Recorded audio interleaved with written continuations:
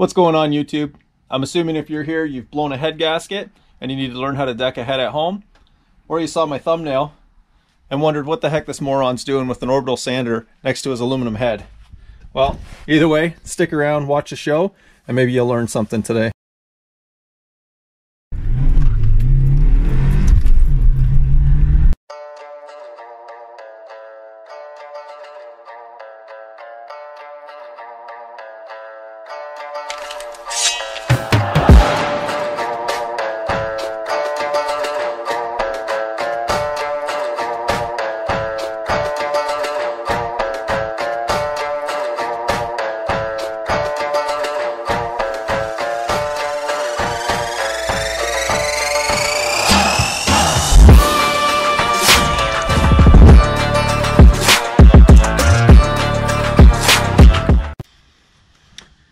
Problem. The head gasket was actually okay. Um, there's a crack right here. You can see it was leaching down and into the side. So there's a couple ways you can actually, if you didn't see the crack, there's a couple ways you can check for it. I'll show you that in a sec. I decided to clean this cylinder up. You can see the difference. Check it for damage. And I don't see a crack there. Um, I actually think that's just the uh, basically burn through. So the head gasket probably failed and uh, the ignition, the fire was actually working its way through to the water jacket there. Um, believe it or not, that happens. More so, you'll see it in like boosted uh, engines, you know, turbos and things like that.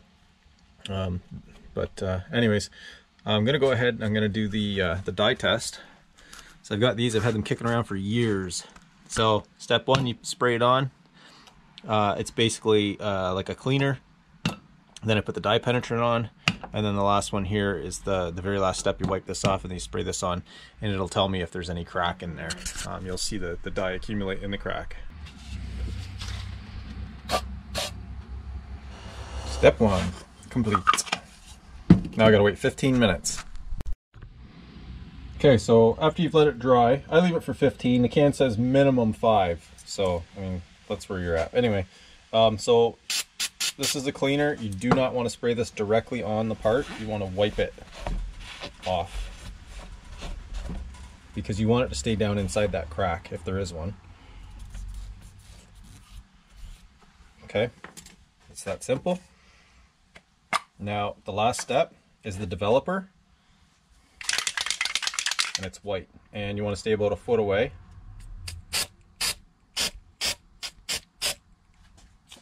just give it a super light coat like that.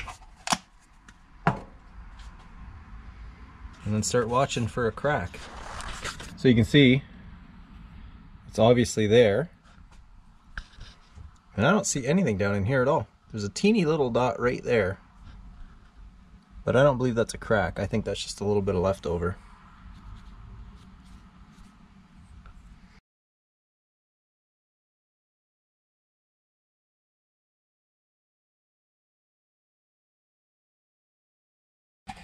I think I'm gonna fix this.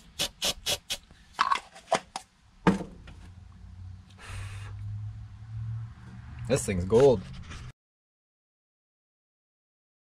Yeah, so I can fix this. So I guess I'm gonna show you the old school trick of how I do it. And I've had people freak out before saying, you can't do that and whatnot, but um, I can do it. I've done it a ton of times, and I've actually never had an issue with it at all. And um, mainly what I used to do it on was turbo engines, so they were pushing 20 plus pounds of boost, and there was never an issue. So um, you can do it. Don't listen to other people. Um, basically, innovation wouldn't uh, wouldn't happen if people listen to the naysayers, right? So. Okay, real quick and dirty here. Need your sander. You're gonna need some spray paint. You'll see why later at the end of the video. Feeler gauge, straight edge, a mic, the feeler gauges, specs can vary, so you're going to need to look that up for your own specific head. In my case, I know it's 3 thou. Um, it may be 2 thou up to 8, depending on what you're uh, using. I, you know, some trucks with uh, V8 heads and whatnot, it could be 8 thou on those kinds of things, depending if it's, you know, aluminum or um, cast steel kind of thing. So you're going to want to definitely check those specs out.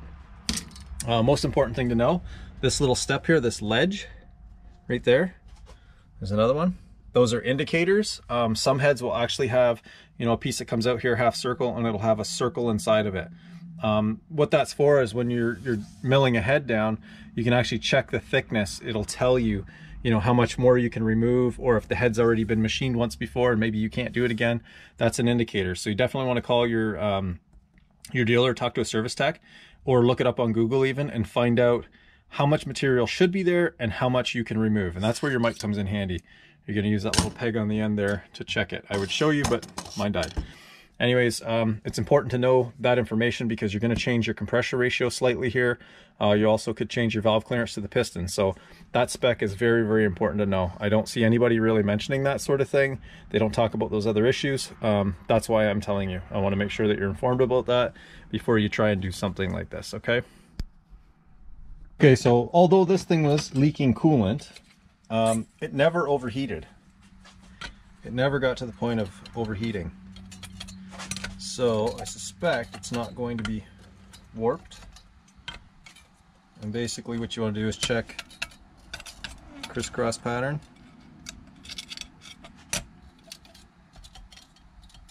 We are gold. Oh, got a little bit of movement there. You want to hold it as flat as possible. Oh, good. What I'm doing is I'm trying to sneak the 3 thou feeler gauge underneath the ruler and in between the head. If it does sneak through and I feel drag, then I'm probably safe. I'm probably right at the 3 thou mark. But if it slips under without any resistance at all, I want to step up to the 4 thou and try again. And if that sneaks under, I'm going to step up to the 5 thou and so on until I find one that doesn't sneak under. And that'll indicate how much material we have to remove off of the head to get this flat. There's a little bit there. That's actually, oops, more than acceptable. There we go. It's not the best straight edge in the world.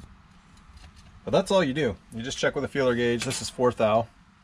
And uh, I use that because I know I'm going to shave more than 4 thou off to get that out of there. So um, that's easily 10 thou, maybe a little more. So we're going to deck this down, see how it comes out. Because I mean, the thing otherwise, right now the head basically is shot. If you can't fix that, it's garbage. So if there's a chance at fixing it yourself, do it. Uh, worst case is uh, you get this little bit out of alignment and maybe you take it into a machine shop and they mill it the rest of the way if there's room, or you buy another $50 head. 220 grit paper on a DA. And yeah, I know, it's impossible to get this straight. This is the first step to mill it down a little bit. Once I get that done, I'll put the paper down on the table, I'll drop this on there, and I'll slide it back and forth casually.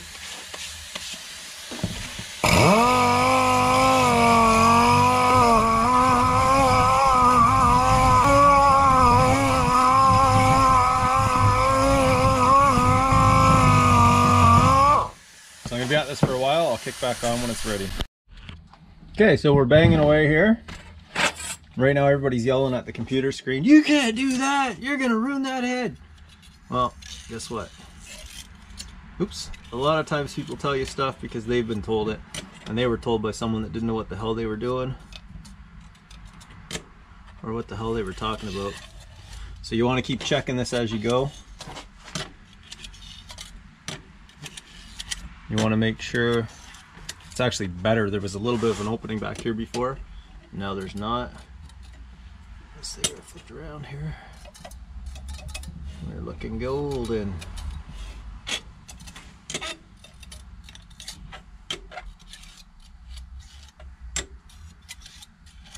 I'm gonna keep right on trucking. You can see here, we're getting to it. I'm hitting it with some 80 grit. I definitely recommend you don't do that if it's the first time doing this. You can screw your head up pretty bad if you don't know what you're doing. You've got to keep that sander as flat and as flush on the surface as possible. You've got to stay moving all the time. You don't stop. If you see a black spot or something in here like this, you don't sit there and focus on it to grind it out because then you're going to have a, a misshapen head. It's not going to seal. You've got to just keep moving and take the surface down evenly all the way. And you've got to stop and keep checking with your um, straight edge and your uh, feeler gauge. Check constantly, every couple of minutes, just to make sure you're not getting out of round. Make sure you're not rounding the sander over the edges. It's always flat and it's just always moving. Alternate your patterns, change them up, keep them going, as long as you're always moving. If this thing starts getting torn up too much on the corners, like this one here, it's due to be changed, change it. You don't want to have any rough edges or anything goofy that's gonna you know, distort the shape of this. So you can see we're almost down. A little bit more, probably another minute, maybe a little, more and that'll be out. Okay, we're golden. Tiniest little mark there. I'm not even concerned about it. These two rounded down just a hair on me. I'm not concerned. They're not bad. All in all, it's come out really good so far. So now I'll show you the next step. All right, so you can see what I've got going now. That's a bunch of 220 self-adhesive uh, paper.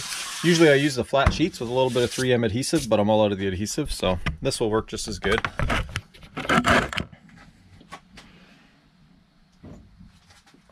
So now you just take your, your head. I basically milled that. now I want to deck it. So set it down. You want to make sure it's good and clean and flat. I should have cleaned the whole head up. But anyway, so you don't want to press at all. You want to use the weight of the cylinder head itself and you want to, you can move it in any direction. This way, in an X pattern, all those directions. And the main reason you want to do that is just like body work. If you sand in a straight line and some of the sandpaper is not perfectly flat or there's a bubble or there's a tiny warp in the table or whatever, you're going to wear those grooves into this head. So we're going to go this way, this way, this way, this way, and then I'm going to spin the head around, do it again, I'm going to keep doing that.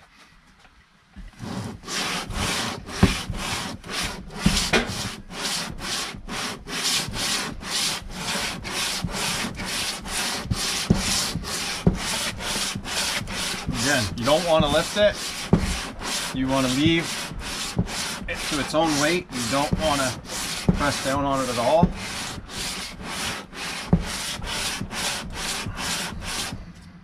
And I got one bad strip. I caught an edge, so I'm going to flip it around, see if I can save it. It's much better with full sheets. You have the square sheets and you just glue them all down. But you still catch edges on those too sometimes.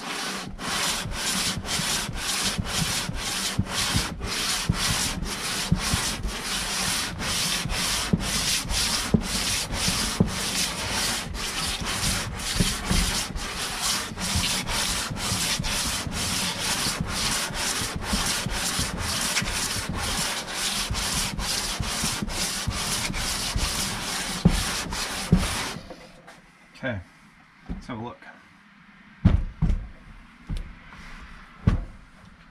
It's looking really good. It's coming out really good actually.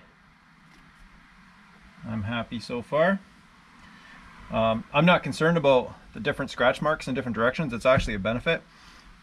If you have all the lines going in one direction, that's actually more likely you'll have a leak. Um, if you think of um, cross hatching in a cylinder, it's the same kind of idea you want that cross because that's going to help keep the uh, compression.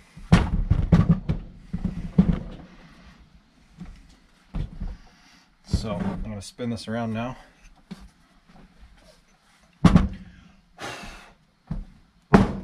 And do it again.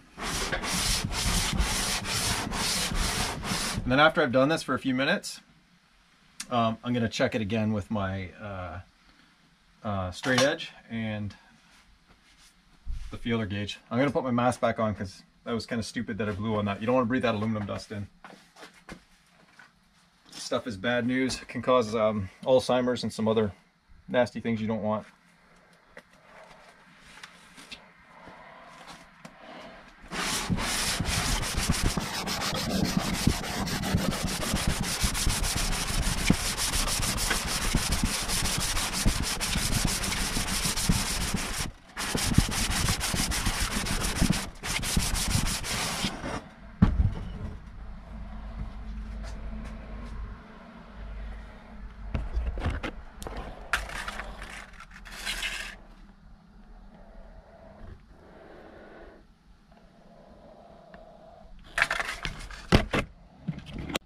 Okay, so I'm down to the absolute last step. It's coming out really good. I'm really happy with it. So what I've done is I've just taken a spray can, black paint, stayed back, you know, about a foot, foot and a half, and gave it the lightest little spatter. I'm just letting that dry. And once it's fully dry, I'll go ahead, I'll flip it over, I'll rub it across the surface again. And what that's gonna do is it's gonna show us if there's any low spots. Uh, if we have any dips and valleys, like right in here, I think is a little low. Uh, and possibly a little bit here. It, it's really hard to get it perfectly flat using the orbital, um, but it got us really, really close. There's hardly any work now. We just have to, you know, sand hand it back and forth a little bit.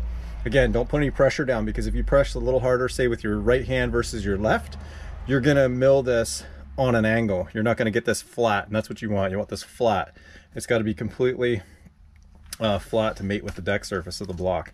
Uh, you don't want it on an angle. You don't want any dips. You don't want any waves or valleys or anything. So you've got to be super careful, pay close attention to what you're doing, and just keep moving. Don't sand in one spot. Sand the entire surface together as one.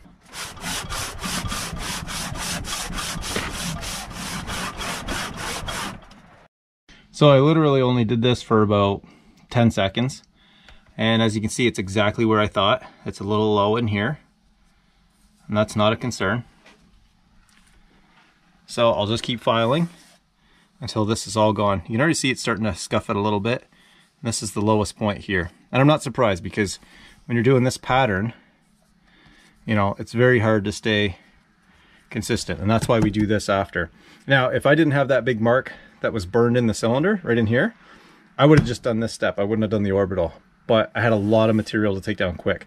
That's where the orbital comes in. If you need to deck that surface down. Um, if you're just looking to make sure it's flat and straight and have a good prepared surface for a gasket, just do this step. But if you've got something like I had there with a little check and you want to mill it down, use the orbital, then do this to make sure your work is good. All right, so as you can see, we got this all done. I sprayed the paint on there. I gave it a final scuff on the table and uh, there was no low spots left. It just took a little bit more sanding. It wasn't a big deal at all. So now we're all ready to go. So there's a few other videos of work that I've done.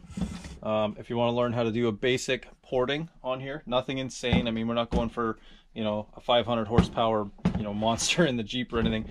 Um, basically, we're just cleaning it up a little bit. We'll get better fuel economy. There will be a little bit better performance. Um, you know, uh, there's a few tricks that I can show you with the valves as well as with the combustion chamber. So there'll be a couple of videos coming out on these exact heads of the work that I've done.